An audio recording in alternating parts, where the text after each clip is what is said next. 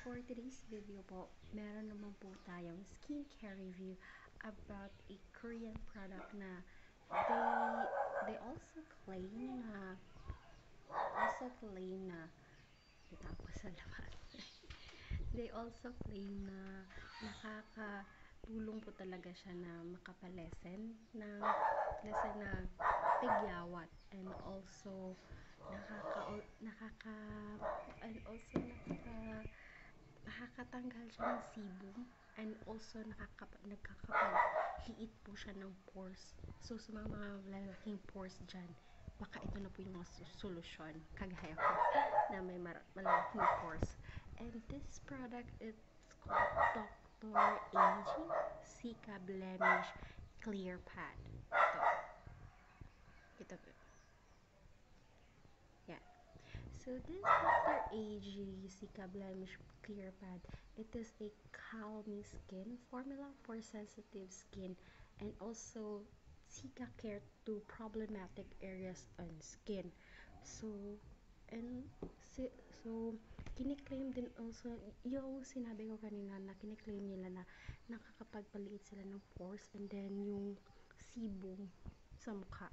Nakakapagpatanggal daw sila ng sebum then we will try that one so let's start so ito po yung Dr. AG Sika Blemish Clear Pad so ito and then it also has has 30 pieces. It also is sensitive renew skin formula with centella and a skin calm system for irritated skin. Enrich natural ingredients bring to skin relief and repair. So 30 pieces. At 30 pieces na mga peeling pad. So ito yung packaging niya. Medyo malaki siya in fairness at then marami 30 pieces. Yeah.